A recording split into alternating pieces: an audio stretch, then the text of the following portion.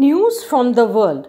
House Democrats seem certain to nominate Nancy Pelosi for two more years as Speaker, but she will be leading a smaller majority divided along ideological lines as it tries shepherding President elect Joe Biden's agenda toward enactment.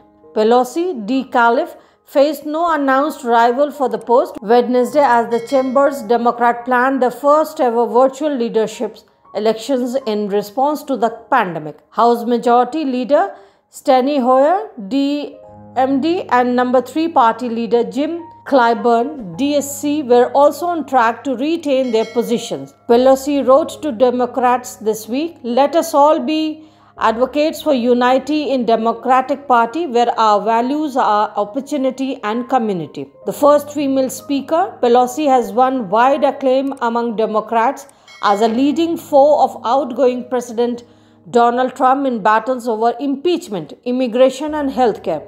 She has given as good as she has gotten from the insult prone president, sometimes directly to his face, prompting him to call her Crazy Nancy and supporters to create memes and actions figures honoring her.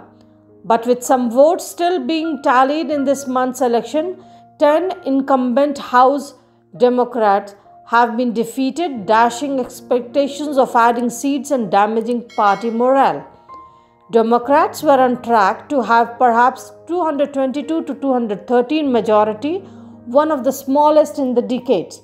This has sparked finger pointing with progressive saying the party failed to adequately win over minority and young liberal voters.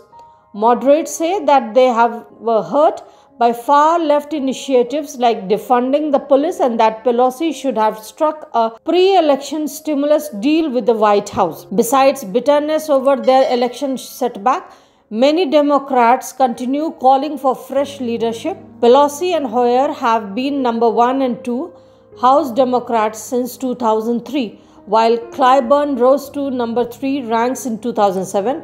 Pelosi and Clyburn are 80, Hoyer is 81. Yet, with no plausible rival, Pelosi seemed headed to what would be her seventh and eighth year as Speaker. She served the first four during 2000s until Republicans recaptured the House majority in the Tea Party election of 2010, a conservative uprising that presaged the rise of Trump.